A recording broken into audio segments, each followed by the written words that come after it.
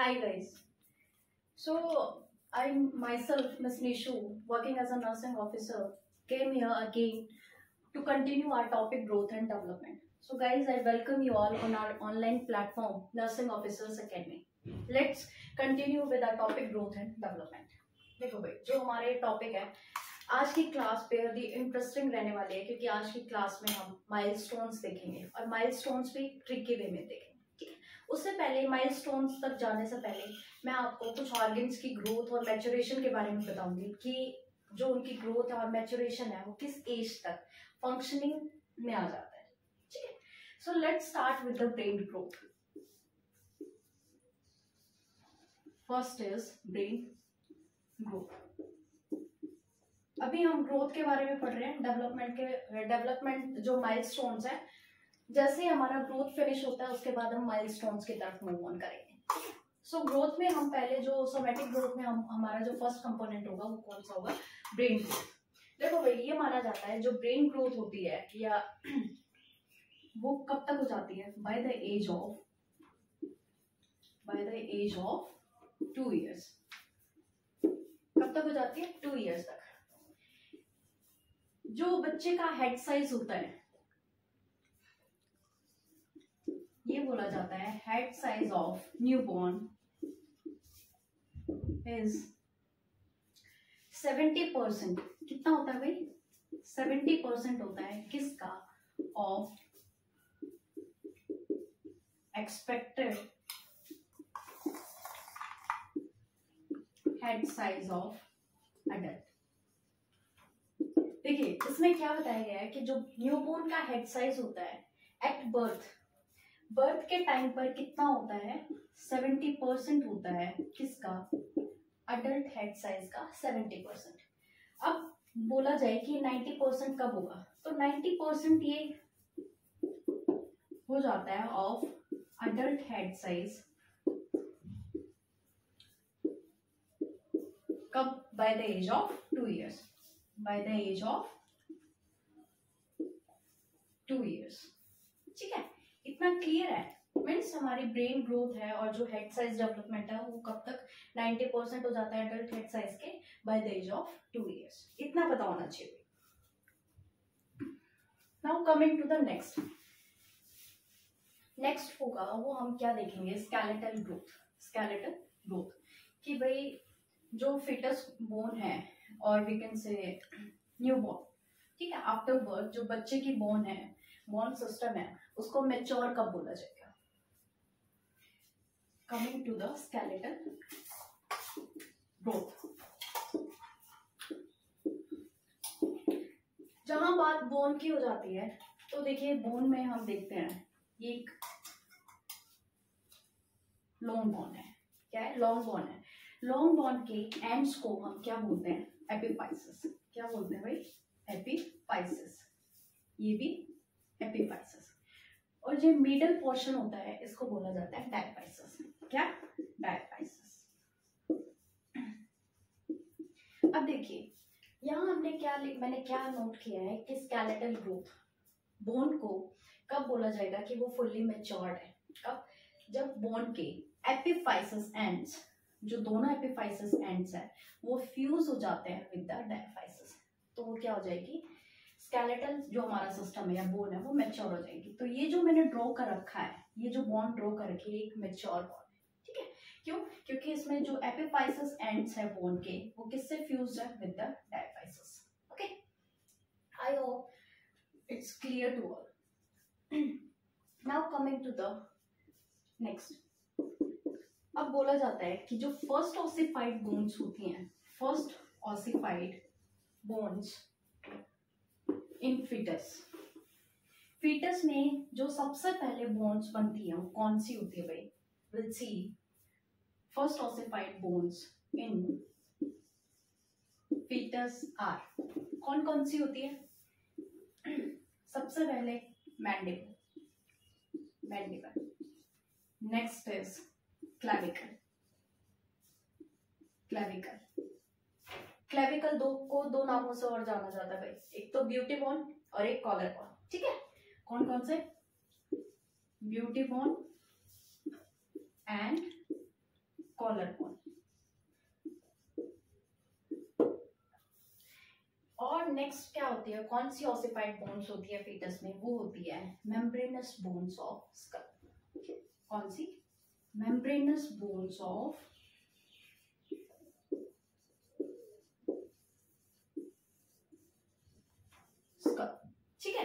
हमने क्या देखा था स्केलेटल ग्रोथ में कि भाई सबसे पहले बोन को मेच्योर कब माना जाएगा? जब दोनों डायफाइसिस बोन के जो दोनों एंड्स है एपिफाइसिस वो किससे फ्यूज हो जाएँगे? Get fuse with the diaphysis तो हम बोन को क्या बोलेंगे? मेच्योर है।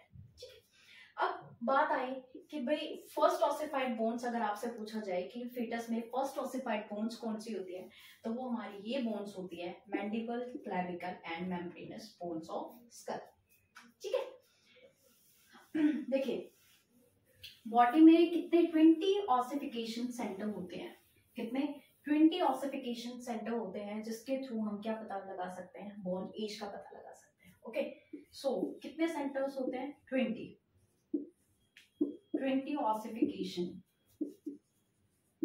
center are present which helps to determine the born age. Determine the born age. देखिए, मैंने यहाँ ये नोट डाउन किया है कि बॉडी में कितने ट्वेंटी ऑसिफिकेशन सेंटर के थ्रू हम किसका पता लगा सकते हैं? बॉर्न एज का। कैसे पता लगा सकते हैं? By doing the X-ray of दो सेंटर्स ठीक है? अब किस एज ग्रुप में कौन सी बॉन के एक्सरे से हम बॉन एज का पता लगा सकते हैं? वो मैं अभी आपको बताने जा रही हूँ। बात करते हैं। अगर हम बात करें three to nine months three to nine months three to nine months में हम स्कैपुला और शोल्डर के एक्सरे से बोन एज का पता कर सकते हैं। Three to nine months of age इस एज ग्रुप के बच्चों में हम किससे बोन एज का पता लगा सकते हैं? By doing X-ray of scapula and shoulder ठीक है? Coming to one to twelve years one to twelve years one to twelve years की बात करें तो hand and wrist X-ray hand and wrist X-ray इससे हम किसका पता लगा सकते हैं? बॉन एज का कौन से एज ग्रुप में? वन टू ट्वेल्व ईयर्स के एज ग्रुप में। Coming to twelve to fourteen years अगर बात की जाए ट्वेल्व टू फोर्टीन ईयर्स के एज ग्रुप में कि अगर बॉर्न एज का पता लगाना है तो हम किसका एक्सरे करेंगे? हम किसके एक्सरे के थ्रू पता करेंगे? Elbow and hip X-ray elbow and hip X-ray ठीक है? यहाँ तक क्लियर होगा I think so coming to the next ये हमने देख लिया ऑसिफिकेशन सेंटर के बारे में देख लिया। ये भी देखा भाई कि हम बॉर्न एज कैसे पता लगा सकते हैं ऑसिफिकेशन सेंटर से।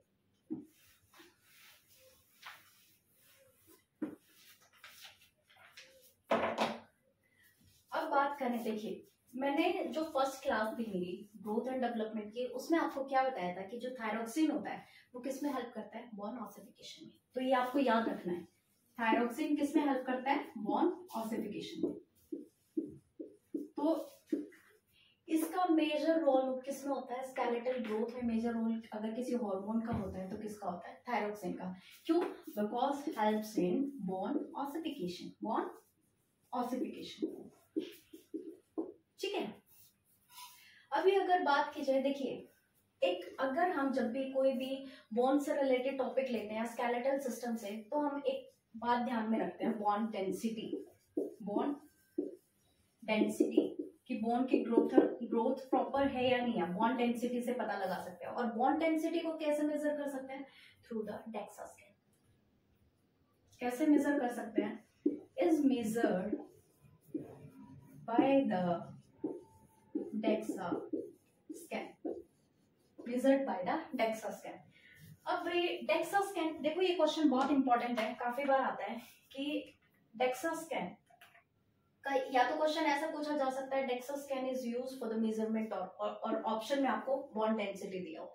या फिर क्वेश्चन ऐसे आ सकता है कि bond density is measured by which scan so the answer will be DEXA scan DEXA scan अगर हम बात करें कि डेक्सा स्कैन क्या है, पता तो होना चाहिए भाई मीनिंग आपको फुल कि डेक्सा की फुल फॉर्म में क्या है। डेक्सा क्या है? DEXA is dual energy X-rays absorptiometry तो भाई आपको ये तो याद होना ही चाहिए, लेकिन अगर इसको एलेबरेट करके ये दे रखा हो तो कंफ्यूज नहीं होने चाहिए आप लोग। ठीक है? पता होना चाहिए। अगर हम बात करें डेक्सा स्कैन देखिए, एक क्वेश्चन ये भी होता है कि भाई ऑस्टियोपोरोसिस अगर हमें ऑस्टियोपोरोसिस का पता करना है तो किससे कर सकते हैं? Through the DEXA scan through the DEXA scan क्यों? क्योंकि ऑस्टियोपोरोसिस में जो है बॉन्ड डेंसिटी अफेक्ट हो रही है। क्यों? बात करें अगर हम ऑस्टियोपोरोसिस की। अगर हम बात करते हैं ऑस्टियोपोरोसिस की तो ऑस्टियोपोरोसिस क्या होता है? ऑस्टियोपोरोसिस एक ऐसा बॉन्ड डिसऑर्डर होता है जिसमें बोन्स क्या होते हैं? फ्रेजाइल हो जाती है and are more likely to break ठीक है? टूटने के चांसेस ज़्यादा रहते हैं। क्यों? क्योंकि उसकी बॉन्ड डेंसिटी अफेक्ट है। बॉन्ड की ग्रोथ बहुत मेच्योर नहीं है या फिर मेच्योर होकर भी उसको न्यूट्रिशन नहीं मिल रहा है, जिसकी वजह से वो फ्रेजाइल हो चुके हैं या तो किसी डिज़ीज़ कंडीशन से या न्यूट्रिशनल डिफिशियंसी की वजह से बोन हमारी फ्रेजाइल हो चुकी है and is likely to be breaked okay तो ये ऑस्टियोपोरोसिस अगर बात की जाए कि ऑस्टियोपोरोसिस को डायग्नोस करने में कौन हेल्प करता है तो डेक्सा स्कैन कौन करता है? डेक्सा स्कैन ठीक है? I hope it's clear to all now coming to the next parameter next parameter की बात करें तो हम चलेंगे भाई वेट की sorry not for weight tips system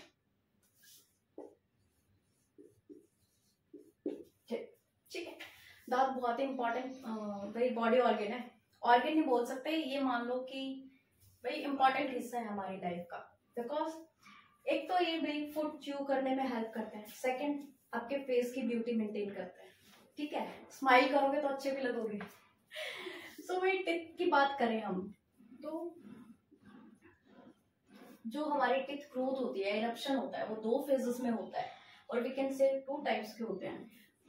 first phase primary और इसको क्या बोल सकते हैं हम?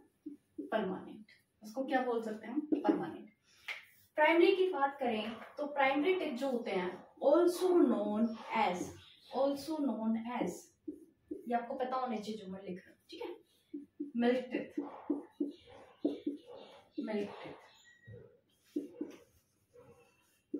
temporary teeth milk teeth temporary teeth and next is deciduous teeth next is deciduous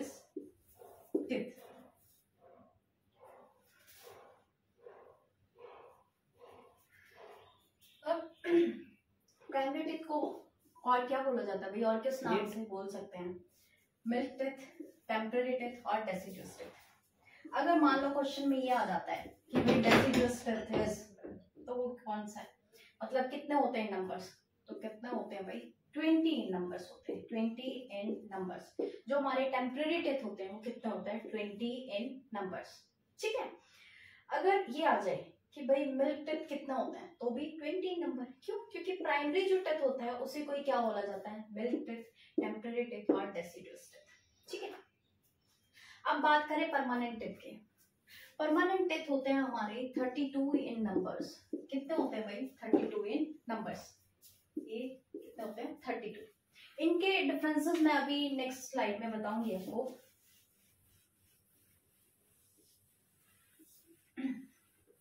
देखो भाई इतना टफ टॉपिक नहीं है। अगर आप एक दो बार रिविजन करते हो तो ये आपको इतना ईजी लगेगा कि हाँ आप कभी लाइफ में नहीं भूलो। ठीक है, जो आज की क्लास इतनी ईजी रहने वाली है। बस आपको रिवीजन पर ध्यान देना at least two times primary और परमानेंट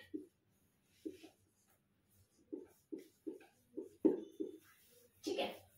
प्राइमरी टिक जो होते हैं, वो by the age of two two two and half years तक फुल्ली इरप्ट हो जाते हैं कंप्लीटली जितने भी ट्वेंटी टेट्स हैं, वो सारे के सारे कितने एज तक आ जाते हैं? Two two two years two two two and half years तक. अगर एग्जैक्ट आंसर आपसे कोई पूछे कि भाई ऑप्शन में ये नहीं है, ये एक एवरेज दी हुई है। अगर ऑप्शन में आपके मंथ्स में दिया जाए तो एग्जैक्ट आंसर क्या होगा? थर्टी मंथ्स कितना होगा भाई? थर्टी मंथ्स होगा। ठीक है? अब ये कितने होते हैं? ट्वेंटी इन नंबर्स कितने होते हैं भाई? ट्वेंटी इन नंबर्स और जो पीडियाट्रिक टेथ फॉर्मूला है, बच्चों का टेथ फॉर्मूला है, वो कितना होता है? Two one two two one two अब ये टू वन टू किसको इंडिकेट करता है? Two incisor one canine and two molars and two molars देखो भाई, जो हमारे टीथ होते हैं, उसमें कौन कौन से होते हैं? इंसाइजर होते हैं केनाइन होते हैं प्रीमोलर्स होते हैं और मोलर्स होते हैं। जबकि हमने क्या देखा? बच्चों के केस में इंसाइजर है कैनाइन है मोलर्स है। कौन से एबसेंट है? प्रीमोलर्स ठीक है? तो ये आपको याद रखना है, कौन सा टेथ टाइप इसमें एबसेंट होता है? प्रीमोलर्स आर एबसेंट प्रीमोलर्स बच्चों में नहीं होते हैं। ठीक है? Coming to the permanent teeth अगर हम परमानेंट टेथ की बात करें तो ये थर्टी टू ही नंबर्स होते हैं भाई। कितना होते हैं? थर्टी टू ही नंबर्स ठीक है? इसका फॉर्मूला होता है two one two three upon two one two three अब इस फॉर्मूले की अगर बात करें मतलब two incisor one canine and two premolars and three molars and three molars ठीक है? मेरे अकॉर्डिंग आप सबको इतना समझ में तो कोई प्रॉब्लम नहीं आनी चाहिए भाई। ठीक है? नाउ विल सी कि भाई जो टेम्पररी टिथ होते हैं, वो किस एज ग्रुप तक कितने डेवलप हो जाते हैं, कितने इरेप्ट हो जाते हैं। ठीक है? फिर उसके बाद हम परमानेंट टिथ का देखेंगे। So moving to the temporary teeth eruption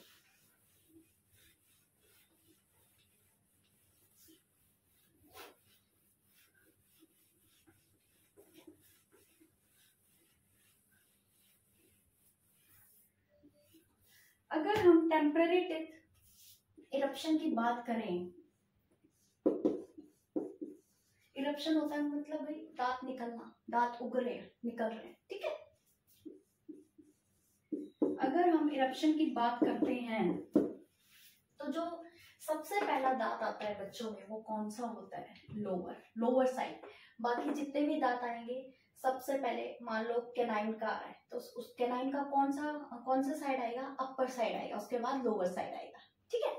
लेकिन जो पहला दांत आता है बच्चे में, वो लोअर आएगा हमेशा। कौन सा होगा वो भी? Lower central incisor lower central incisor जो कि कब आता है? At the age of six months कब आता है भाई? At the age of six months now coming to the upper central incisor upper central कब आएगा? इसके दो महीने बाद। At the age of eight months at the age of eight months अब देखो, जैसा कि मैंने बताया था कि जो पहला दांत होगा, वो तो कौन से साइड निकलेगा? लोअर साइड बाकी इंसाइजर का अगर हम लेटरल लेते हैं या कैनाइन का कोई भी टच लेते हैं तो कौन से साइड निकलेगा पहले? ऊपर की साइड निकलेगा। तो अब सेंट्रल में हमने देखा लोअर सेंट्रल सबसे पहले निकल रहा है at the age of six months upper central उसके बाद एट मंथ्स पर निकल रहा है। अब बात करते हैं। अपर लेटरल इंसाइजर वो किस एज में निकलेगा भाई? At the age of nine months at the age of nine months ठीक है? बात करें लोअर लेटरल इंसाइजर की तो ये कब होगा? टेन मंथ्स पर। टेन मंथ्स पर। नेक्स्ट हमारा क्या आएगा? First upper molar first upper molar की बात करें तो ये हमारा आता है at the age of thirteen months at the age of thirteen months अब first lower side lower side जो मोलर आएगा, वो कब आएगा? At the age of fourteen months at the age of fourteen months इसके बाद जो कैनाइन हुआ, कौन सा? कैनाइन फ़र्स्ट कैनाइन कौन सा? अपर कैनाइन वो कब आएगा भाई? At the age of sixteen months at the age of sixteen months बात करें उसके बाद लोअर कैनाइन की तो वो कब आएगा? At the age of seventy months at the age of seventy months ठीक है? तो भाई, इसमें हमने देखा कि बाकी जितने भी लेटरल इंसाइजर मान लो, या फिर मोलर मान लो, सब में क्या आ रहा है? या फिर आप कैनाइन मान लो, सब में लोअर टेथ से पहले कौन सा इरप्ट हो रहा है? अपर साइड कौन सा इरप्ट हो रहा है? अपर साइड बट अगर हम जो सबसे पहले दांत देखते हैं सेंट्रल इंसाइजर उसमें कौन सा होगा लोअर होगा. उसके बाद सारे अपर होंगे, उसके बाद उसका लोअर तो ये हमारा टेथ इरप्शन है पर हमारा नहीं सॉरी छोटे बच्चों का. ठीक है? मिल्क टेथ इरप्शन जो एज ग्रुप है कि किस एज तक कौन सा टेथ इरप्ट हो जाएगा ठीक है? Now coming to the permanent teeth eruption coming to the permanent teeth eruption अगर हम बात करते हैं परमानेंट की, जो कि मैंने बताया आपको परमानेंट में हमारा थर्टी टू इन नंबर्स होते हैं और उसमें प्री मोलर्स भी प्रेजेंट होंगे। फॉर्मूला क्या था? Two one two three point two one two three two incisor one canine two premolars and three molars okay अगर हम बात करें परमानेंट की तो परमानेंट में जो होता है, सबसे पहले कौन सा आता है? परमानेंट सबसे पहले फ़र्स्ट मोलर आता है at the age of six years भाई टेम्पररी कब आ रहा था? At the age of six months वहाँ भी सिक्स था, लेकिन वो मंथ्स में था. परमानेंट जो आ रहा है वो ईयर्स में. कब? At the age of six years ठीक है? अब बात करते हैं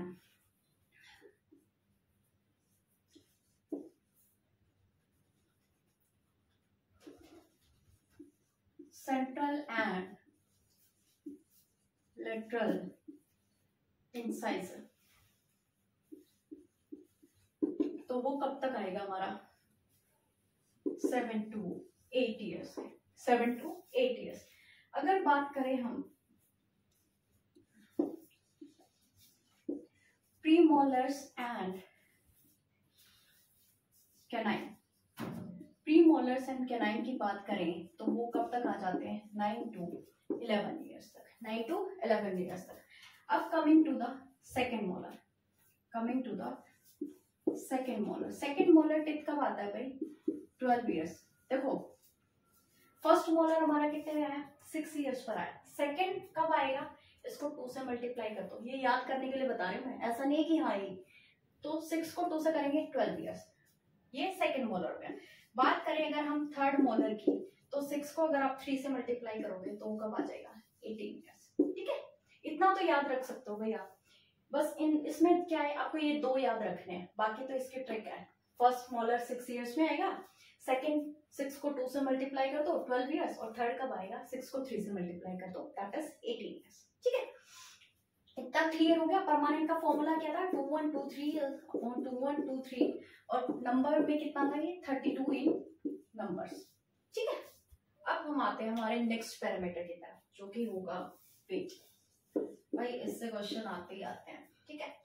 तो इसका, इस पर थोड़ा ज़्यादा फोकस देना है, ये इंपॉर्टेंट है। ठीक है? वेट की बात करें तो हेल्दी न्यूबॉर्न का वेट जो माना जाता है एवरेज वेट कितना होता है?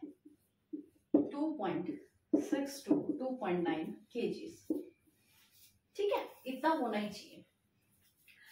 अब देखो, हमने वेट देख लिया, कितना होना चाहिए। लेकिन जैसे ही बच्चा पैदा होता है, जो फ़र्स्ट वीक होता है बच्चे के लिए, वो बहुत ही क्रिटिकल होता है। क्यों? क्योंकि उसमें बच्चा अपना फ़र्स्ट वीक के अंदर ही टोटल वेट का टेन परसेंट वेट लॉस कर देता है। ठीक है? उसका रीजन भी हम देखेंगे, क्यों करता है। तो क्या होता है? Ten percent weight loss ten percent of total birth weight occurs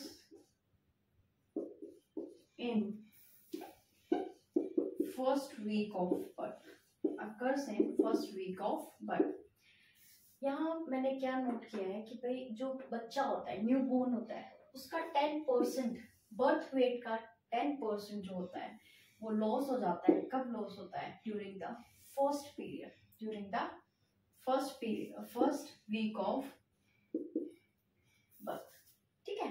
जैसे ही बच्चे का जन्म हुआ, उसके पहले ही हफ़्ते में बच्चे का टोटल वेट का टेन परसेंट लॉस हो जाता है। ठीक है? अब वो लॉस क्यों है? उसका रीजन हम देखेंगे। उसका रीजन अभी देखेंगे।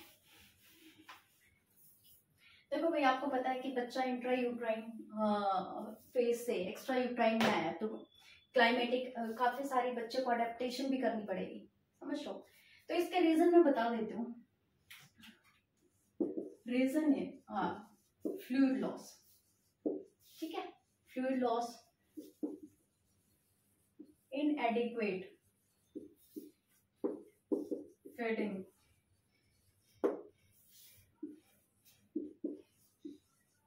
digestive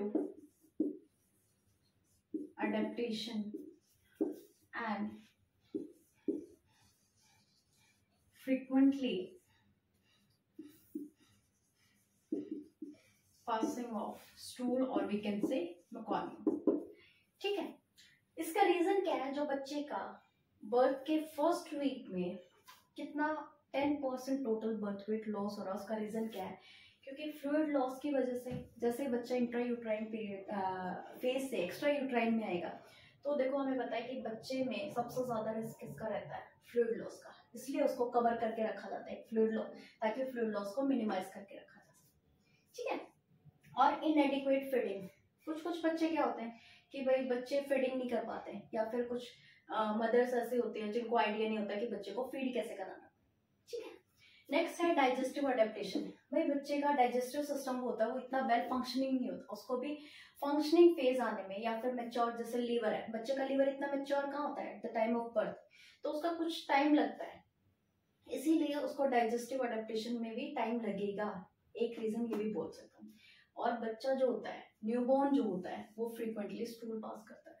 ठीक है? तो इसलिए टेन परसेंट वेट लॉस हो जाता है occurs in first first week of the birth अब बात करें, हमने ये तो देख लिया कि टेन परसेंट लॉस हो रहा है वेट का। अब ये रिगेन कब होता है? अगर बात की जाए रिगेन की तो regain seven to ten days seven to ten days first पहले बर्थ के सात दिन तक टेन परसेंट लॉस हुआ बर्थ वेट का और रिगेन कब हो गया? सात से दस दिन के अंदर उसका रिगेन हो गया सेम वेट अगर हम बात करें कि भाई, ठीक है, दस दिन तक का तो हमने देख लिया, उसके बाद क्या होगा वेट के साथ? तो बच्चे का जो वेट है after ten days after ten days बच्चे का weight twenty five to thirty five grams per day increase होता है और जो कब तक कंटिन्यू रहेगा? Till five to six months till five to six months तो क्या होगा? After ten days after ten days there will be 25 25 to 30 grams per day increase in birth weight और जो कब तक रहेगा? Continue till continue till five to six months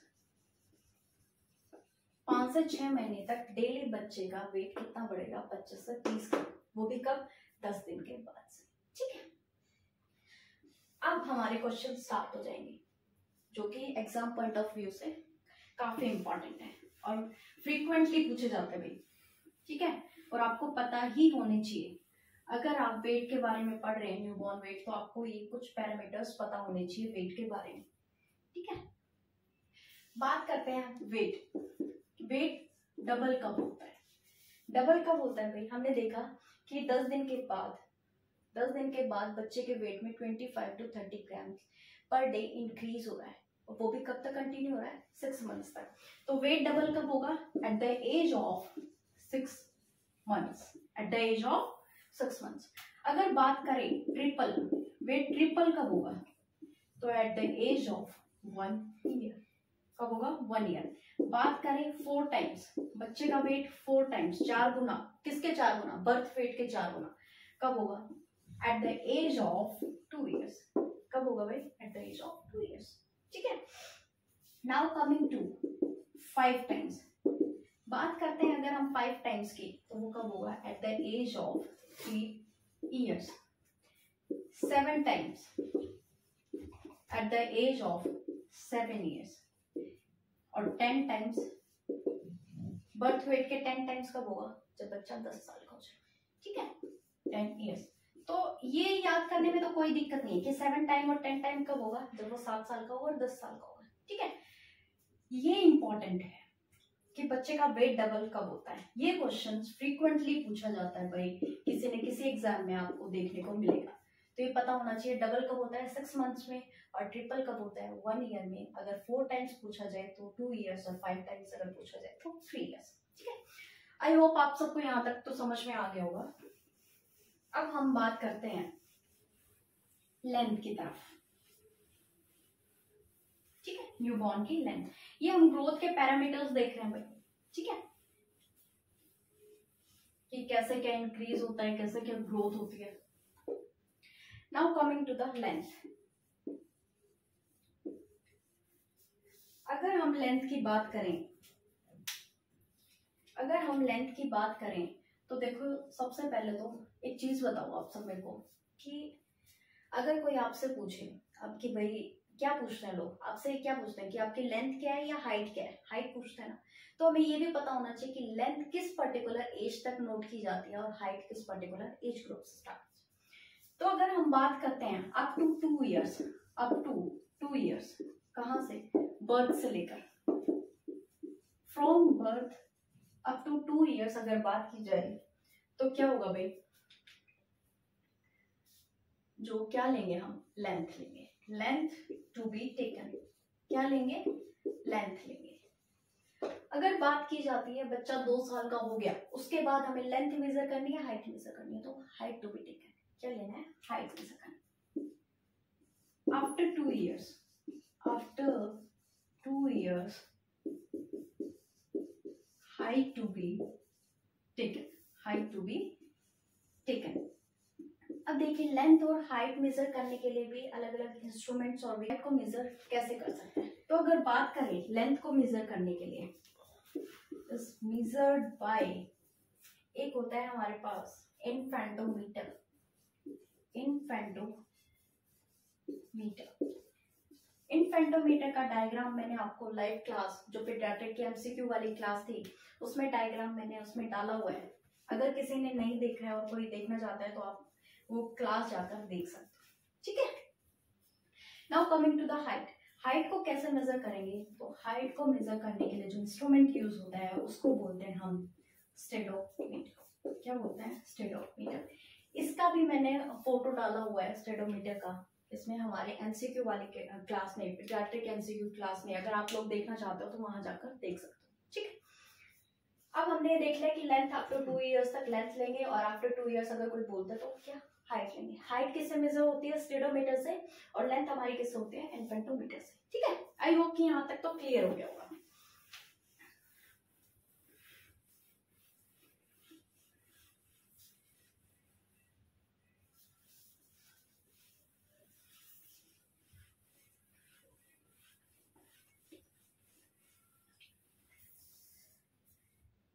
अब चलते हैं भाई। चलते हैं हम। लेंथ एट बर्थ कितनी होती है? अगर कोई लेंथ एट बर्थ पूछे आपसे तो नॉर्मल कितनी होती है? फिफ्टी सेंटीमीटर कितनी होती है भाई?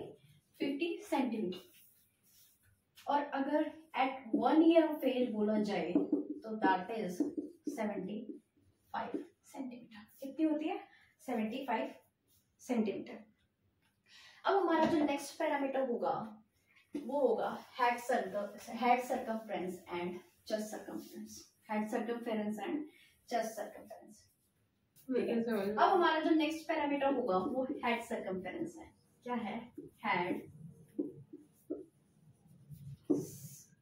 सर्कमफ्रेंस हेड सर्कमफ्रेंस की बात करें तो एट बर्थ ही कितनी होती है भाई? एट बर्थ ही होती है thirty three to thirty five centimetre कितनी होती है? Thirty three to thirty five centimetre अगर बात की जाए अडल्ट हेड सर्कमफेरेंस की तो वो कितनी होती है? फिफ्टी फाइव सेंटीमीटर कितनी होती है? Fifty five centimetre head circumference हमने देख लिया। अब देखो चेस्ट सर्कमफेरेंस देखते हैं। क्या देखेंगे? चेस्ट सर्कम्फेरेंस चेस्ट सर्कम्फेरेंस जो होती है, वो हेड सर्कम्फेरेंस से चेस्ट सर्कम्फेरेंस एट बर्थ वो कितनी होती है? हेड सर्कम्फेरेंस से थ्री सेंटीमीटर लेस होती है। बात करते हैं हम चेस्ट की चेस्ट सर्कम्फेरेंस की। चेस्ट सर्कम्फेरेंस ठीक है? तो एट बर्थ अगर बात की जाए एट बर्थ वो कितनी होगी? थ्री सेंटीमीटर होती है less than head circumference less than head circumference मान लो suppose for example head circumference कितनी है? थर्टी फाइव सेंटीमीटर है हेड हेड सर्कम्फेरेंस हमारी कितनी है? थर्टी फाइव है। तो चेस्ट सर्कम्फेरेंस कितनी होगी? थर्टी फाइव माइनस थ्री कितनी होगी भाई हमारी? थर्टी टू ठीक है? तो ये हमारी चेस्ट सर्कम्फेरेंस आ जाएगी। मतलब एट बर्थ बर्थ के टाइम पर जो हमारी चेस्ट सर्कम्फेरेंस होती है बच्चे की, वो कितनी होती है? तीन सेंटीमीटर कम होती है देन द हेड सर्कम्फेरेंस ठीक है अगर बात की जाए कि चेस्ट सर्कम्फेरेंस और हेड सर्कम्फेरेंस इक्वल कब आते हैं? इक्वल कब होते हैं? ठीक है? ये बहुत इंपॉर्टेंट क्वेश्चन है भाई। फ्रीक्वेंटली पूछा जाता है कि किस एज में head circumference and chest circumference becomes equal head circumference and equals to chest circumference at the age of one year. At the age of one year अब उसके बाद चेस्ट सर्कम्फेरेंस ज़्यादा होती है देन द हेड सर्कम्फेरेंस कब? After one year of age one year से लेकर जितने भी साल तक बंदा जिएगा चेस्ट सर्कम्फेरेंस ज़्यादा होगी हेड सर्कम्फेरेंस ठीक है? इतना क्लियर हो गया होगा। और भाई ये क्वेश्चन है मार्क करके रख लो, बहुत ही इंपॉर्टेंट है। कौन सा? कि head circumference and chest circumference किस एज पर आकर इक्वल हो जाते हैं? कौन सी एज पर? At the age of one year ठीक है? Now coming to the next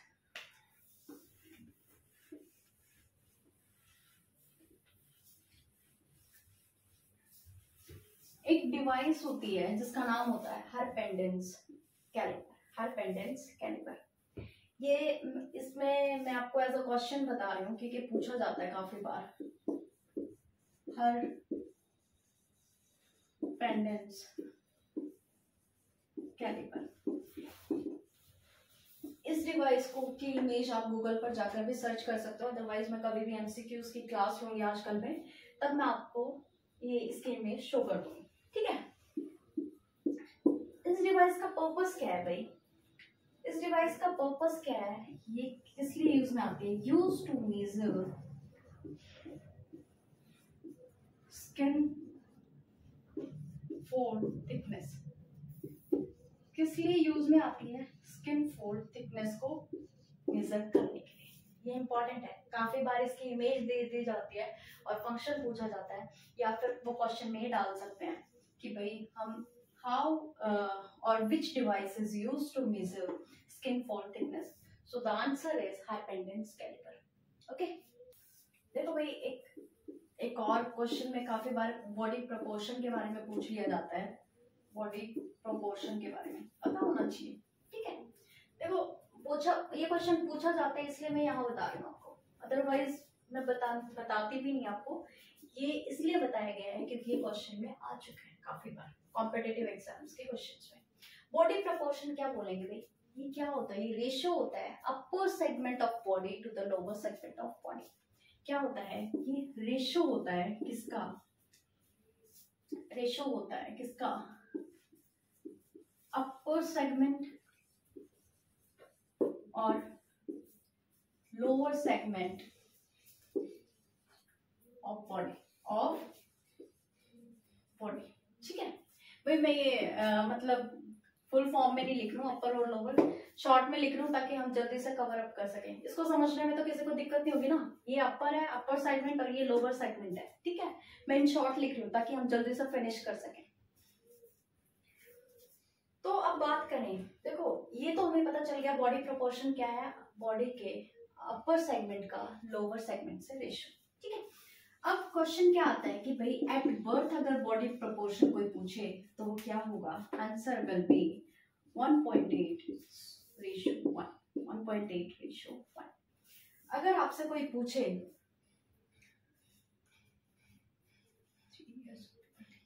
अगर आपसे कोई पूछे at the age of three years तो थ्री इयर्स में हमारा क्या आ जाएगा? आंसर 1.3 रेशियो 1 1.3 रेशियो 1 अगर ये बोला जाए कि भाई, ये जो बॉडी प्रोपोर्शन है, इसका रेशियो है, वो कब इक्वल होता है तो हमारा आंसर होगा at the age of puberty क्योंकि रेशियो जो होता है upper segment of body to lower segment वो इक्वल होता है किस पर? At the age of puberty तो ये इंपॉर्टेंट है भाई मार्क करके रख लेना, ठीक है? कि प्यूबर्टी पर बॉडी प्रोपोर्शन का जो रेशियो है, वो one is one okay I think आप सबको यहाँ तक क्लियर हो गया होगा.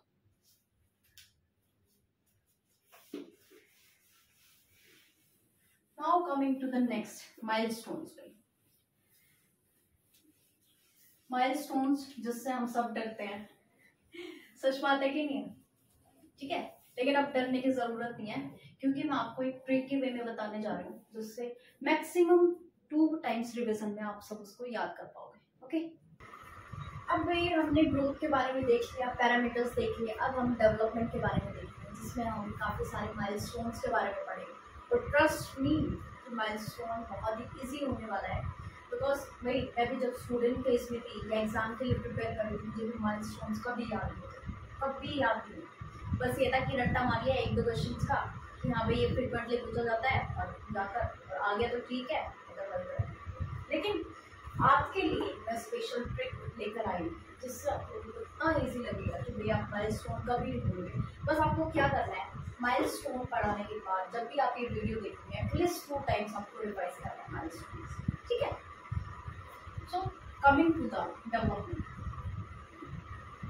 development development को हम इन कैटेगरीज में स्टडी करें ठीक है? किस फ़ेज़ में? एक तो ग्रोस मोटर डेवलपमेंट कौन सा भी gross motor development next. Fine. Motor. Development. Fine motor. Development.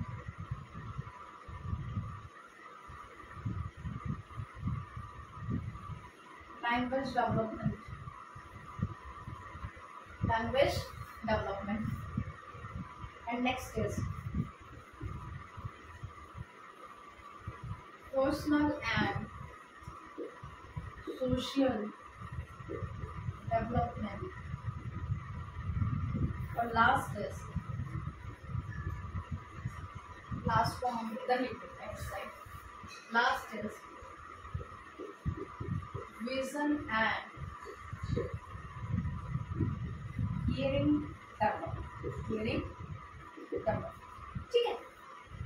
इसमें जो क्वेश्चंस हमारे पूछे जाते हैं, वो तीन पैरामीटर से पूछे जाते हैं mainly gross motor fine motor and language ये हमारे लिए बेहद इम्पोर्टेंट ठीक है फाइव स्टार मान लीजिए इन तीनों में से क्वेश्चन हैं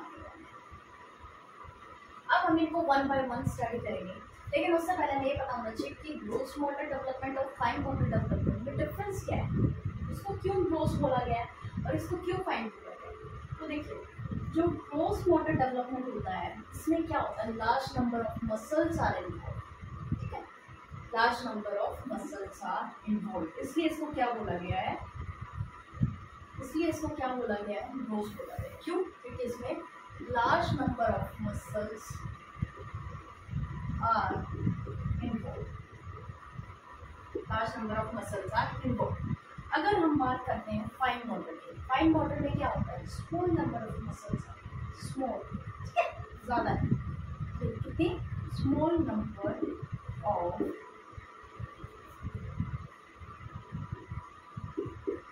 muscles are involved. Difference पता चल गया? में क्या हुआ? Large number of muscles involve होती है और फाइन में क्या हुआ? स्मॉल नंबर ऑफ़ इन्वॉल्व ना we are going to study down one by one ठीक है? स्टार्ट करेंगे हम पहले gross model development gross model development जैसा कि मैंने बताया था कि ग्रोस मोटर डेवलपमेंट में क्या होता है? जो माइल होते हैं, वो लार्ज नंबर ऑफ़ मसल्स का यूज़ करते हैं। लार्ज नंबर ऑफ़ मसल्स ठीक है? देखो भाई, आपके जितने भी डाउट्स हो, आप कमेंट सेक्शन में, जैसे ही क्लास आप लेते हो क्लास होने के बाद आप कमेंट सेक्शन में अपने डाउट्स को ऑन कर सकते हो। मैं जब भी कमेंट देखूँगी आई ट्राई टू आंसर ठीक है? डेफिनेटली आपको आंसर मिलेगा। Coming to close motor development gross water development की अगर हम बात करें ग्रोस वाटर डेवलपमेंट की अगर हम बात करें तो भाई हमने क्या देखा था? एक तो इसमें लार्ज नंबर ऑफ़ मसल्स का क्या हो रहा था? यूज़ हो रहा और जो ये डेवलपमेंट है ना, ये कैसे प्रोसीड करेगा? सिफेलोपॉडल कैसे प्रोसीड करता है? सिफेलोपॉडल प्रोसीड करता है। प्रोसीड्स सिफेलोपॉडल जैसा कि आपके, आपको पहले ही बताया गया cephalopodal means cephalic to podal cephalic head से टेल टेल की तरफ़ उसका डेवलपमेंट प्रोसीड करता है। अब हम gross water gross water development समझने के लिए क्या करेंगे? एक बच्चे को ड्रॉ करने वाले इसको थोड़ा सा ऊपर बना देते हैं, ताकि आपको दिख जाए।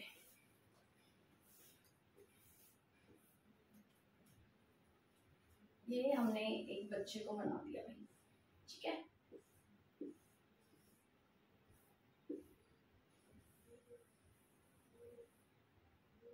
ये इसके हाथ है। ये बच्चे की क्या है? नेक क्या है ये बच्चे की? नेक है ये है chest and abdomen chest and abdomen ये बच्चे के क्या है? हिप्स है. ये क्या है? लेग्स है. ठीक है? अब हम कैसे याद रखेंगे? देखो भाई, जो नेक होल्डिंग होता है नेक नेक से स्टार्ट करेंगे, क्योंकि मैंने क्या बताया ग्रोस मोटर कैसे प्रोसीड करता है सिफेलो ऑर्डर करता है। तो सिफेलो मतलब हेड टू टेल तो ऊपर से नीचे जब जाएँगे तो क्या आएगा सबसे पहले? नेक तो बच्चा नेक होल्डिंग कब करता है? कब डेवलप होता है? At the age of three months कब होती है थ्री मंथ्स में। अब बात करें चेस्ट और एब्डोमेन की तो चेस्ट और एब्डोमेन भाई कब यूज़ में आते हैं? देखो कब यूज़ जब बच्चा रोल करता है रोलिंग करता है। तो फोर टू सिक्स मंथ्स की अगर हम बात करें तो बच्चा क्या करता है? रोलिंग क्या होता है भाई? रोलिंग इसके बाद चेस्ट और इसके बाद क्या आ गए हिप्स हिप्स मतलब भाई बच्चा sitting it's related to sitting अगर हम सिटिंग तो देखो सिटिंग में भी दो पैरामीटर हैं। एक तो सिटिंग विद सपोर्ट और नेक्स्ट में क्या आ जाएगा? सेटिंग विदाउट सपोर्ट तो सेटिंग विद सपोर्ट अगर बात करते हैं हम तो बच्चा वो कब डेवलप कर लेता है? At the age of five months at the age of five months अभी क्या देखा कि sitting with support sitting with support कब at the age of five months अब sitting without support without support अगर हम बात करते हैं सिटिंग विदाउट सपोर्ट तो वो कब डेवलप होगी? At the age of eight months eight months eight months पर एक और माइलस्टोन डेवलप होता है बच्चे में, वो कौन सा होता है भाई? क्रीपिंग क्रीपिंग आपने कभी बच्चे को, जैसे बच्चे जब छोटे होते हैं आठ महीने का हो जाता है तो उसको ज़मीन में चलने की मतलब रैंक कर चलने की कोशिश करते हुए देखा है? रेंगना टाइप से बोल सकते हैं क्रीपिंग क्रीपिंग में क्या होता है? देखो, एक होता है क्रीपिंग और एक होता है क्राउलिंग क्राउलिंग में भी वही है, जैसे जब बच्चा चलने से पहले जो ज़मीन पर झुक कर चलता है, हाथ पैरों की मदद से तो वही होता है क्रीपिंग एंड क्राउलिंग लेकिन उसमें डिफरेंस क्या होता है? क्रीपिंग में क्या होगा भाई? जो बच्चे का पेट सॉरी एब्डोमेन है, वो क्या? सरफेस टच करेगा. क्रीपिंग में एब्डोमेन टच द सरफेस और क्राउलिंग में क्या होगा? एब्डोमेन टच नहीं करता है सरफेस को। तो जो क्रीपिंग है, उसमें क्या होगा? abdomen touching surface. abdomen touching surface. अब बात करते हैं हम। ये हो गया क्रीपिंग डेवलप हो गई और सिटिंग विदाउट सपोर्ट अब आते हैं हम लेग्स की तरफ़। लेग्स की तरफ़ आते हैं तो मतलब it's related to something standing ठीक है? तो जहाँ बात पैरों की आ जाती है, वहाँ स्टैंडिंग तो अब स्टैंडिंग सपोर्ट ही करेगा। ऐसा तो है नहीं, बिना सपोर्ट के बच्चा भाई खड़ा होकर, खड़ा हो जाएगा। तो सिटिंग विद सपोर्ट की बात करें तो ये कब डेवलप होता है? ये डेवलप होता है at the age of ten months at the age of ten months ten months में ही हमारा बच्चे में एक और माइलस्टोन डेवलप होता है that is crawling that is crawling crawling मैंने क्या बताया था? कि भाई वो चलने से पहले जो ज़मीन में हाथ पैरों की मदद से रेंग कर चल, जो चलता है, ठीक है? दैट इज़ क्राउलिंग क्राउलिंग में क्या होता है? एब्डोमेन जो है, वो सरफेस को टच नहीं करता। वो क्या है? वो सरफेस को टच नहीं करता। ठीक है? अब देख लिया हमने टेन मंथ्स अब अगर हम बात करें टेन मंथ्स में क्या हो गया? स्टैंडिंग विदाउट सपोर्ट अब इसके बाद अगर हम बात करते हैं twelve sorry standing with support ten months अगर हम बात करते हैं ट्वेल्व मंथ्स की ट्वेल्व मंथ्स में क्या हो जाएगा? Standing without support standing without support and walking ये ऊपर लिख देते भाई मैं थोड़ा सा। सॉरी ये तो नहीं रब करना ट्वेल्व मंथ्स का मैं और लिखेंगे भाई, क्योंकि यहाँ आपको दिखाई नहीं देगा।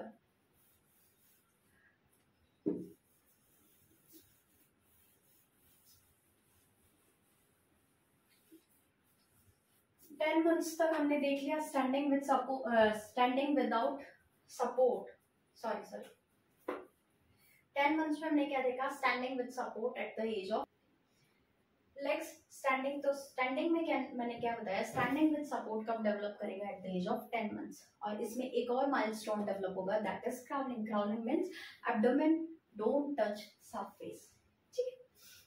अब कमिंग टू टेन मंथ्स तक हमने देख लिया। बात करते हैं ट्वेल्व मंथ्स की। बात करते हैं ट्वेल्व मंथ्स की। ट्वेल्व मंथ्स की अगर हम बात करें तो इसमें क्या हो जाएगा भाई? वहाँ स्टैंडिंग विद सपोर्ट हुआ था तो यहाँ पर क्या हो जाएगा? Standing without support standing without support और यहाँ क्या करना शुरू कर देगा वो? वॉक लेकिन किससे? Walk with support walking with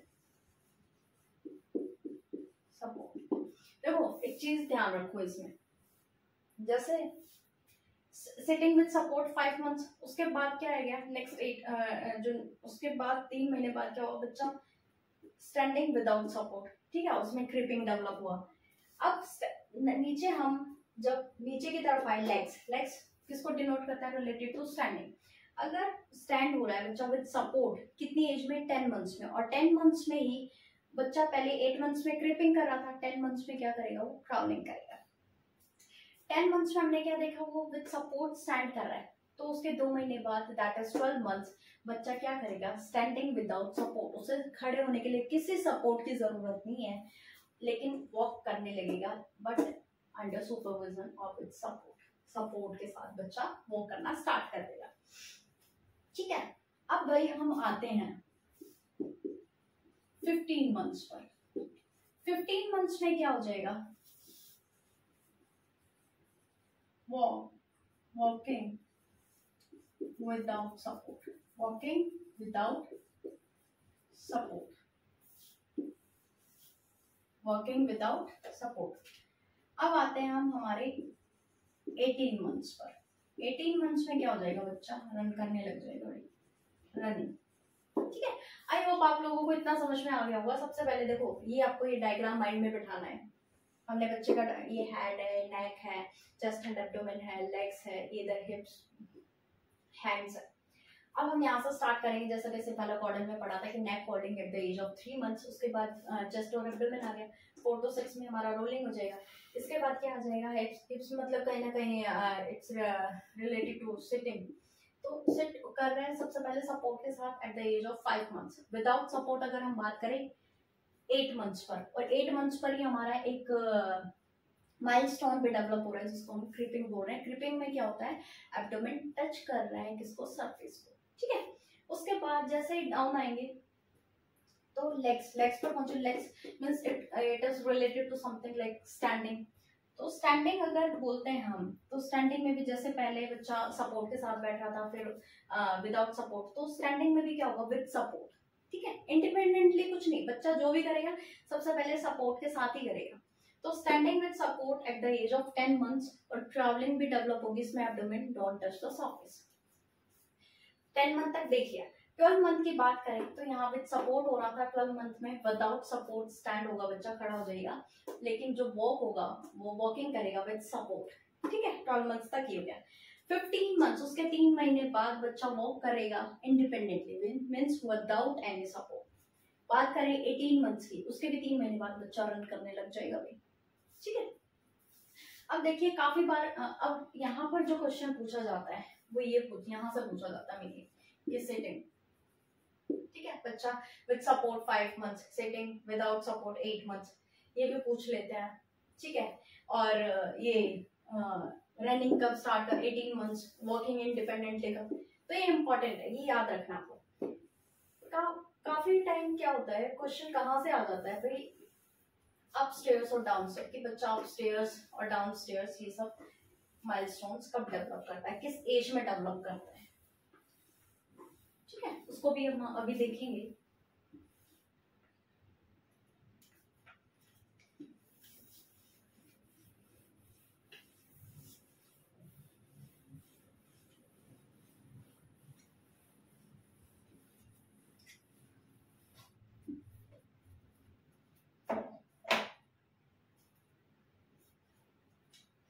देखिए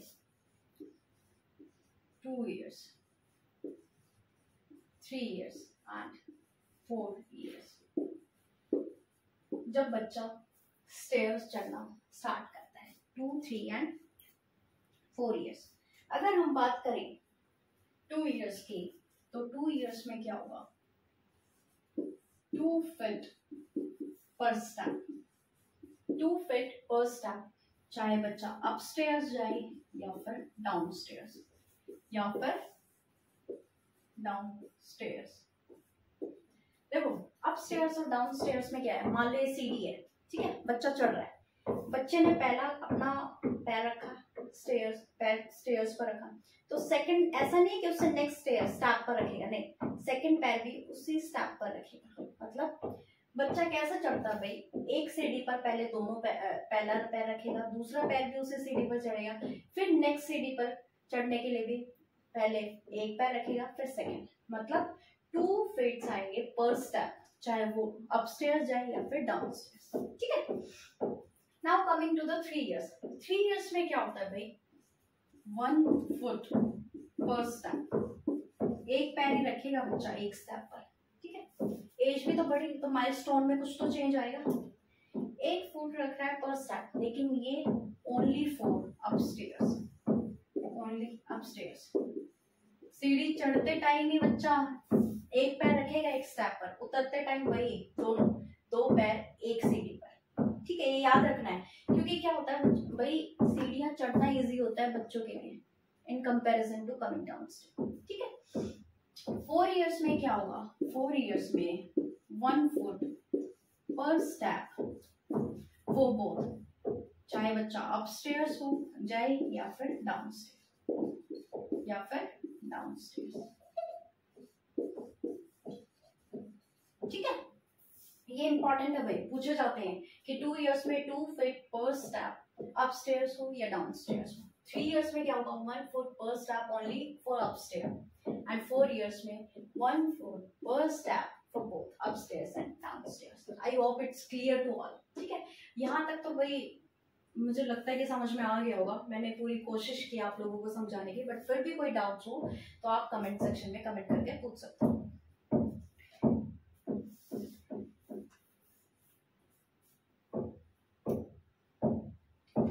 अगर हम बात करें, काफ़ी बार एक क्वेश्चन में ये भी पूछा जाता है कि भाई बच्चा ट्राई साइकिल कब राइड करता है? ट्राई साइकिल कब राइड करता है? तो देखिए थ्री इयर्स पर थ्री इयर्स पर, कैसे याद रखेंगे? ये थ्री ईयर थ्री थ्री को हम ट्राई भी बोल सकते हैं, ठीक है? Tricycle three tri tricycle ride कब करता है वो? At the age of three years ये पूछा जा चुका है पहले काफ़ी बार। ठीक है? तो आपको पता होना चाहिए।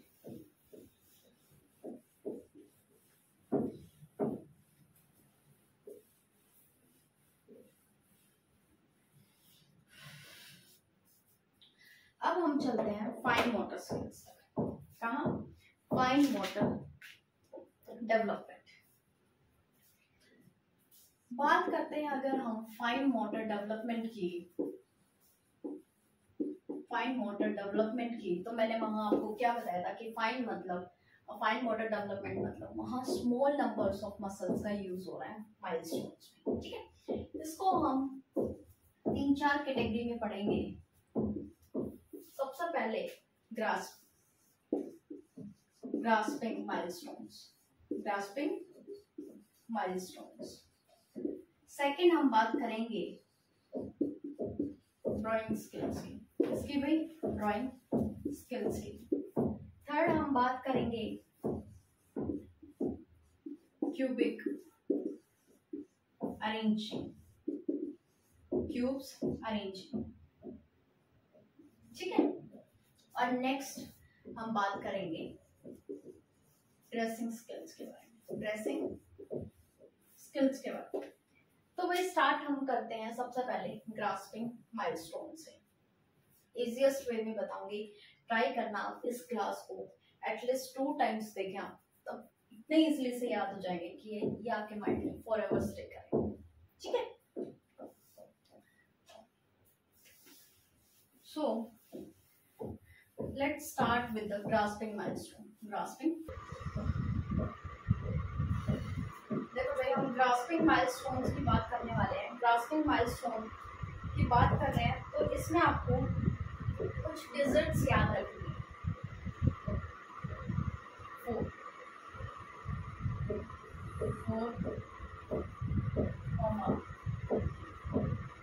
Six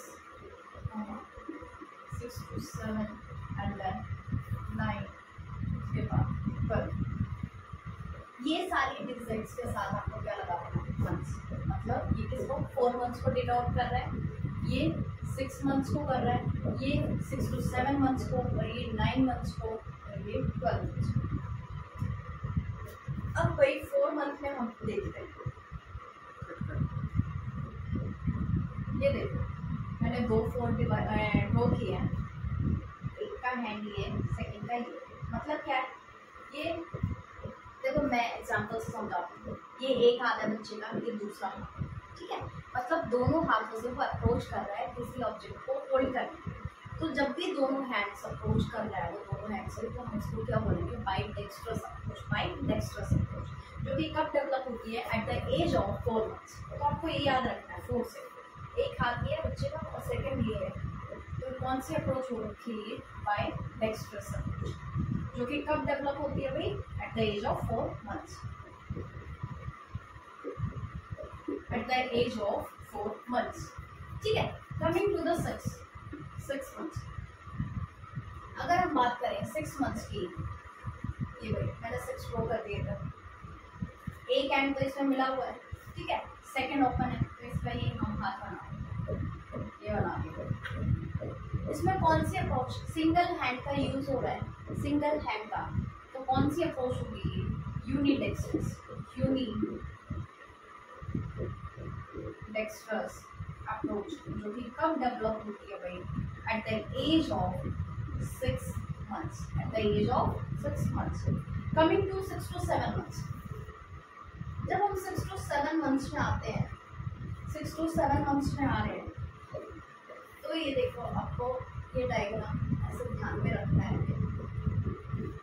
सिक्स की बात करें, ये सिक्स है, ये सेवन का है। सिक्स कुछ भी चीज़ ट्रांसफ़र कर रहा है किसको सेवन को, और सेवन क्या कर रहा है, कुछ चीज़ रिसीव कर रहा है। मतलब ये इसको दे रहा है, और ये इससे ले रहा है। तो क्या हो गया? एक तरह से यहाँ क्या हो गया? ट्रांसफ़र हो रहा है, इसका ऑब्जेक्ट था तो जो ट्रांसफरिंग ऑब्जेक्ट्स होता है ट्रांसफरिंग स्किल्स या माइलस्टोन डेवलप होता है कब होता है at the age of six to seven months transferring हम कैसे बोल सकते हैं? जैसे, पहले वाला बाइट एक्सट्रस में दोनों हाथों से एक ऑब्जेक्ट को पकड़ा हुआ ये। ठीक है? यूनिट एक्सट्रस में ये, ऐसा पकड़ा हुआ अगर बात करें ट्रांसफरिंग ये हाथ में है, ठीक है? बच्चे के क्या है? सिंगल हाथ में ऑब्जेक्ट हो गई, वो उसको दूसरे हाथ में ये क्या हो गया? Transfer of objects transferring the objects तो ये कब डेवलप होगा भाई? सिक्स टू सेवन मंथ्स ठीक है? Coming to the nine months nine months मैंने क्यों लिखा भाई? देखो, इसकी भी एक ट्रिक बताते हैं आपको। ये नाइन है। अगर हम इसकी मिरर इमेज करते हैं वो तो कुछ ऐसी बनेगी। कैसे बनेगी नाइन की ऐसी बनेगी। अब पी से क्या हो गया भाई? पिंसर ग्रास पी से क्या हो गया? पिंसर ग्रास पिंसर ग्रास कब डेवलप होती है? At the age of nine months at the age of nine months जो कि हमने पहले से ही लिखा नाइन मंथ्स पिंसल ग्राफ कब डेवलप होते हैं? नाइन मंथ्स लेकिन एक चीज़ ध्यान रखनी है, ये जो, ये वाली जो पिंसल ग्राफ होती है, कैसी होती है? इमेच्योर होती है। कैसी होती है कैसी होती है ये?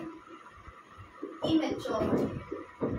इमेच्योर पिंसल ग्राफ अब बात की जाए इमेच्योर नाइन मंथ्स पर डेवलप होती है तो मेच्योर पिंसल ग्राफ कब डेवलप होती है? At the age of twelve months at the age of twelve months twelve months में कैसी होती है हमारी? बच्चे की जो क्लास होगी कैसी होगी mature pincer grasp mature pincer grasp ठीक है? ये समझ में आ गया? बस आप सबको भाई क्या करना है ना? ये डायग्राम माइंड में सेट कर दो। फोर ऐसे दोनों, एक चीज़ को दोनों हाथों से होल्ड करके रखा हुआ बाई अप्रोच ठीक है? Four at the age of four months coming to six एक हाथ से होल्ड करके रखा हुआ ये माइंड में सेट करना है। अगर ये डायग्राम आपको ऐसे कैसे सेट कर लिया और आपने एक दो बार प्रैक्टिस कर ली trust me you are not going to forget ठीक है? तो प्रैक्टिस करनी है। लेकिन आपको सिक्स मंथ्स में unidextrous approach six to seven months में क्या हो जाएगा?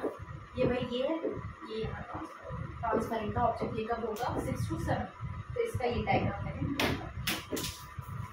अब बात करें नाइन मंथ्स की नाइन में हमने नाइन की मिरर इमेज करते हैं ड्रो तो क्या बनेगा? पी पी से पिंसर ग्राफ पी से पिंसर ग्राफ क्योंकि कैसी होती है इमेच्योर अगर बात करें मेच्योर पिंसर ग्राफ की वो ट्वेल्व मंथ्स में डबल ठीक है?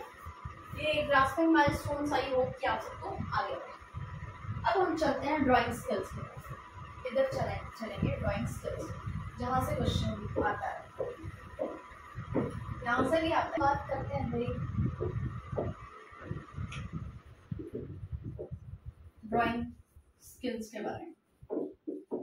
देखो स्टार्टिंग होती है ड्राइंग स्किल्स की।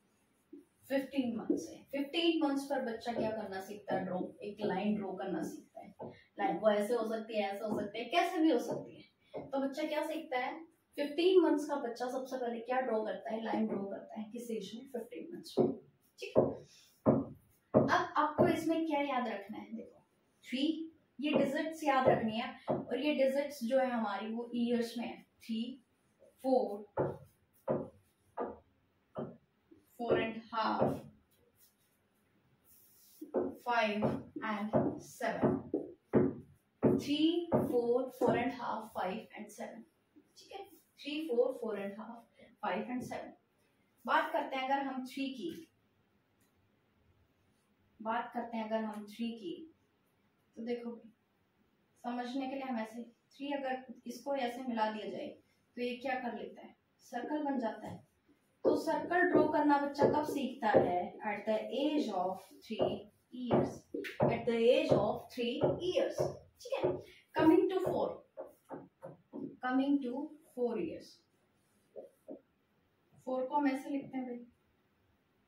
फोर को हमने ऐसे लिखा है.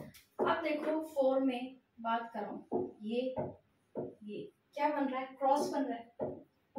ये और ये, क्या बन रहा है? क्रॉस बन रहा है। तो क्रॉस बच्चा कब बनाना सीखता है? At the age of four years जो कि यहाँ ऑलरेडी लिखा हुआ है। At the age of four years क्या बन जाएगा? क्रॉस अब coming to the four and half अगर हम बात करें फोर एंड हाफ़ की फोर एंड हाफ़ की बात करें तो ये यहाँ क्या बना दिया भाई हमने? स्क्वायर क्या बना दिया? स्क्वायर स्क्वायर किस एज तक बनाना सीख जाता है बच्चा फोर एंड हाफ़ ईयर्स की एज तक। ठीक है? कमिंग टू फाइव अगर हम फाइव की तरफ़ चलते हैं तो भाई फाइव में, ये देखो। ये क्या हो गया? ट्राइंगल बन गया। तो बच्चा ट्राइंगल कब बनाना सीखता है? ट्राइंगल कब ड्रॉ कर देता है? At the age of five years at the age of five years अब भाई बात करें सेवन की। मतलब सेवन मैंने क्यों लिखा है? सेवन ईयर्स में ऐसा बच्चा क्या सीखता है? हमने यहाँ तो सब देख लिया भाई। लाइन ड्रॉ कब करता है? किस एज में करता है? Circle at the age of three four cross का सिंबल बनाकर मैंने ट्री की वे आपको बता दिया। फोर एंड हाफ़ में स्क्वायर करता है फाइव में ट्राइंगल करता है। तो अब क्या बचा है? देखो डायमंड डी आई सॉरी यहाँ नहीं आएगा, इधर लिख देती हूँ। D I A M O N D one two three four five six seven कितने वर्ड्स हैं भाई इसमें? सेवन है। कितने अल्फाबेट्स हैं? सॉरी वर्ड्स नहीं, कितने अल्फाबेट्स इसमें? सेवन है। तो सेवन भी मैंने यहाँ लिखा है। तो डायमंड ड्रॉ करना बच्चा कब सीखता है? At the age of seven years at the age of seven years I hope it's clear to all ठीक है? अगर फिर भी समझ नहीं आता है तो आप एक दो बार फिर से रिपीट करके क्लास देख लेते हो। बाकी मैं एक बार फिर से बता देती हूँ। ड्राइंग स्किल्स में बच्चा 15 मंथ्स में लाइन ड्रॉ करना सीखता है, सबसे पहले वो लाइन किसी भी वे में ड्रॉ कर सकता है, ऐसे ऐसे, कैसे ठीक है? अब हमें क्या डिजिट्स याद रखनी है? Three years four years four and half years five years and seven years अगर बात करें हम थ्री की तो थ्री का मैंने ऐसे बनाया था। लेकिन अगर हमें याद करना है ट्रिकी वे में, क्योंकि बार बार भूल जाते हैं ठीक है? माइलस्टोन्स तो भाई वैसे भी याद नहीं रहते। इसलिए मैंने इसको इजी वे में बताने के लिए थोड़ा ये सब कुछ कुछ ट्रिक्स देखी हैं, जो मैं आपको एक्सप्लेन करूँ। तो हमने इसको सर्कल में ड्रॉ कर दिया तो क्या बन गया? Circle at the age of three years अगर फोर की बात करें तो फोर में क्या देखा ये क्रॉस है। क्रॉस बनाना कब सीखता है? फोर ईयर्स में। फोर एंड हाफ़ में ये जो हाफ़ था इसमें हमने क्या बनाया? स्क्वायर मतलब square at the age of four and half five की बात करें तो ये ट्राइंगल बन रहा है। ट्राइंगल बच्चा फाइव ईयर्स में बनाना सीख जाता है। सेवन का मैंने बता ही दिया है। इसमें सेवन अल्फाबेट्स हैं। मतलब डायमंड बच्चा कब ड्रॉ कर देता है at the age of seven years ठीक है? यहाँ तक समझ आ गया सबको? अब हम बात करते हैं नेक्स्ट अरेंजिंग क्यूब्स की।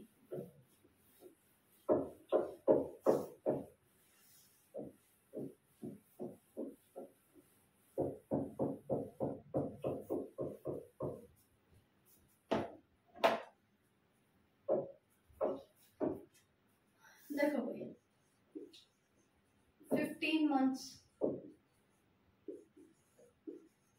18 months. 2 years. And 3 years. 15 months में लाइन ड्रॉ कर रहा था उधर बच्चा। और क्यूब में कितने अरेंज कर पाएगा? Arranges two cubes two cubes कितने अरेंज कर लेता है बच्चा? टू क्यूब्स को के टावर को अरेंज कर लेता है। अरेंजेस टू क्यूब टावर अब बात करते हैं हम 18 मंथ्स 18 मंथ्स में टावर बना लेता है बच्चा थ्री क्यूब्स का। थ्री क्यूब्स के टावर को अरेंज कर लेता है। अब टू इयर्स भाई इसके लिए मैं बता सकता हूँ देखो जब भी पूछा जाए कि टू इयर्स में बच्चा कितने क्यूब्स का टावर बना सकता है देखो टू इयर्स में कितने मंथ होते हैं यार? वन ईयर में ट्वेल्व होते हैं टू इयर्स में कितने होते ट्वेंटी फोर ठीक है? इन दोनों डिजिट्स को अलग अलग लिखकर अगर हम ऐड कर देते हैं, यहाँ टू यहाँ फोर अगर हम ऐड कर देते हैं तो क्या आ गया हमारा? सिक्स तो ये टू ईयर्स में कितने बना देगा? Tower of six cubes tower of six cubes भाई, याद करने वाला तो इसको वैसे भी रट्टे मार लेगा, याद रख लेगा। बट ये मैं जो मतलब इतना सब करके बता रही हूँ, इसलिए बता रही हूँ ताकि आप भूले ना, या फिर किसी को याद करने में प्रॉब्लम आ रही है तो वो इस वे में भी याद कर सकते हैं, ठीक है? अगर हम बात करें थ्री इयर्स की थ्री इयर्स में भाई कितने मंथ होते हैं? Thirty six month thirty six month वही जो हमने यहाँ किया था भाई ट्वेंटी फोर वाले में। थर्टी सिक्स को अगर हम अलग अलग करके ऐड कर देते हैं थ्री प्लस सिक्स तो क्या हो जाएगा? नाइन मतलब at the age of three years जो बच्चा टावर कितने क्यूब्स का बना लेता है? नाइन क्यूब्स का. Tower of nine cubes nine cubes समझ में आ गया भाई? इतना फिफ्टीन मंथ्स में टू क्यूब्स टावर अरेंज कर लेता है बच्चा। ठीक है? एटीन मंथ्स में tower of three cubes and two years में six cubes and three years में नाइन क्यूब्स का। टू इयर्स में ट्वेंटी फोर मंथ्स होते हैं ट्वेंटी फोर को अगर अलग अलग करके टू प्लस फोर करें सिक्स सिक्स क्यूब्स अगर नॉर्मल किसी को ऐसे याद नहीं होता तो ऐसे कर सकता है कि टू इयर्स में कितने मंथ्स होते हैं भाई? ट्वेंटी फोर मंथ्स होते हैं, दोनों को अलग अलग एडिशन करके टोटल जो आएगा वो सिक्स क्यूब्स ऐसे ही थ्री ईयर्स में. थ्री इयर्स में थर्टी सिक्स मंथ्स होते हैं, दोनों को अलग अलग डिजिट्स को प्लस करके जो भी कैलकुलेटेड आएगा, उसके टावर बन जाएँगे. Nine cubes now coming to the dressing skills now coming to the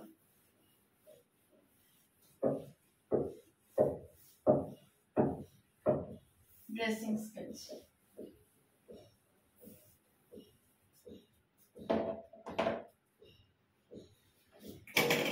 dressing skills की बात करें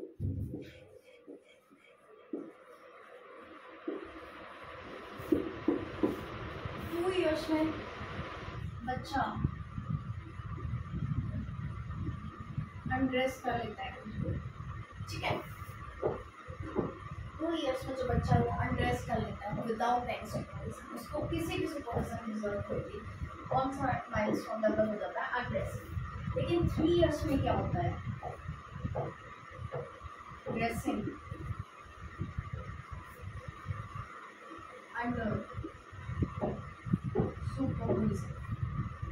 ड्रेसिंग इसमें क्या होता है अंडर सुपरविजन तो टू इयर्स के बच्चों को अगर बार बार कपड़ा पहना है तो बच्चा तो ऐसे खोल कर फेंक देगा लेकिन थ्री इयर्स वाले क्या होता है? समझदार हो जाता है बच्चा थोड़ा। तो वो ड्रेसिंग और जो अनड्रेसिंग है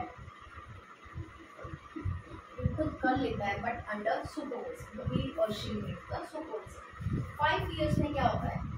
बच्चा dressing and undressing without any supervision, without any two में अनड्रेसिंग कर रहा है थ्री में ड्रेसिंग और प्लस अनड्रेसिंग दोनों कर रहा है but under supervision five years में क्या है? Dressing and undressing without any supervision ये भी कभी कभी पूछ लेते हैं तो आपको आइडिया होना चाहिए कि हाँ भाई कौन से एरिया में कौन सा बच्चा क्या डेवलप अब हम चलते हैं भाई। नेक्स्ट नेक्स्ट डेवलपमेंट का जो नेक्स्ट कैटेगरी है। और फ़ेज़ है, वो है सोशल और अडेप्टिव सोशल और अडेप्टिव डेवलपमेंट फिर हम बात करें social and adaptive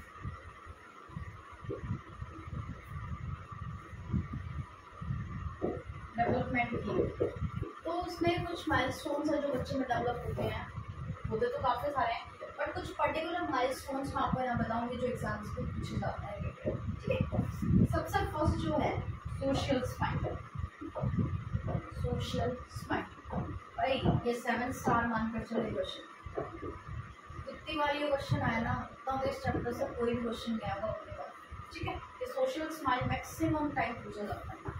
Pick up them at the age of two months. At the age of two months. अब हम बात करते हैं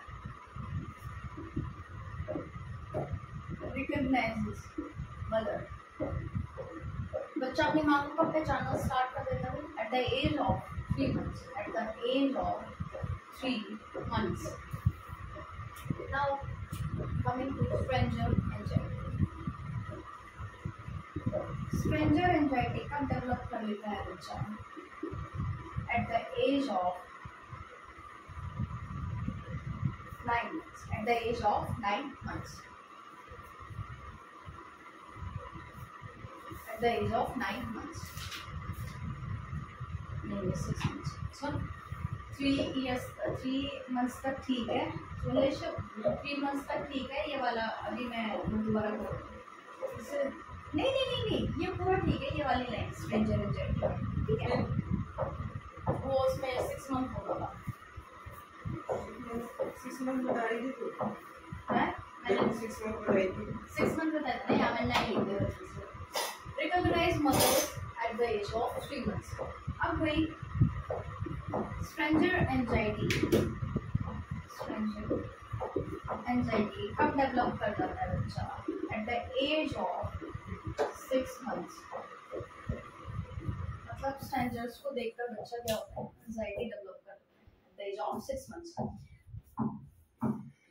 है wave बाय बाय बच्चा हाथ हिलाता है ना, ऐसा ऐसा करके तो किस एज तक हो जाता है develop at the age of nine months ये वही कुछ सोशल और अडेप्टिव डेवलपमेंट माइलस्टोन्स मैंने आपको बताया जो क्वेश्चंस पूछे जाते हैं। Social smile at the age of two months develop होती है मदर को कब रिकॉग्नाइज करता है at the age of three months and stranger anxiety कब होती है सिक्स मंथ्स की एज में और wave bye bye at the age of nine months now moving to the language development moving to the language development बस भाई finish होने वाला है। हम्म।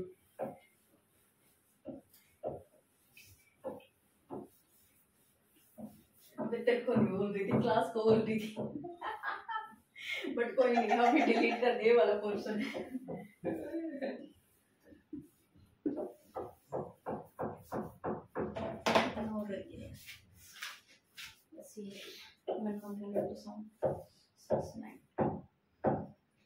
अब हम बात करें। अब हम बात करेंगे language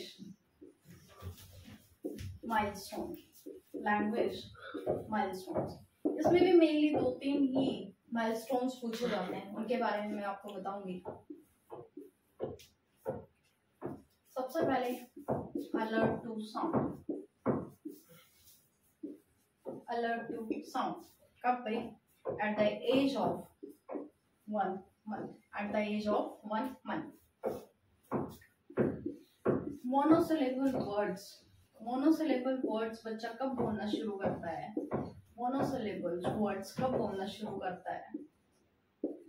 At the age of six months at the age of six months monosyllable words में क्या होगा भाई? फॉर एग्ज़ाम्पल माँ पा दा इनको हम क्या बोलते हैं? मोनोसिलेबल वर्ड्स बोलते हैं। ठीक है? अगर पूछा जाए bisyllable word bisyllable words कब बोलना स्टार्ट करता है। ये स्टार्ट करता है the age of nine months bisyllable कैसे? मामा, दादा, पापा। ये मैंने आपको एग्ज़ाम्पल दिए। ठीक है? तो भाई लैंग्वेज माइलस्टोन में क्या होगा? Alert word sound at the age of one at the age of one month monosyllable words का बोलना स्टार्ट करता है? At the age of six months bisyllable at the age of nine months ये दोनों भी पूछे जाते हैं। तो क्वेश्चन यहाँ से भी आ सकता है। आपको पता होना चाहिए, ठीक है?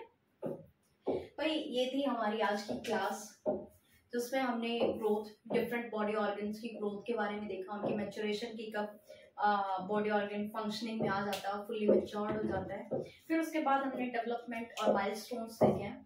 अगर आपको क्लास से रिलेटेड कोई भी डाउट हो तो आप कमेंट सेक्शन में कमेंट कर देना, ठीक है? मैं ट्राई करूँगी कि हाँ आपके सारे क्वेरीज को सॉर्ट आउट किया जाए। Anyway thank you for your patience listening have a good day guys keep studying and all the best for your exam bye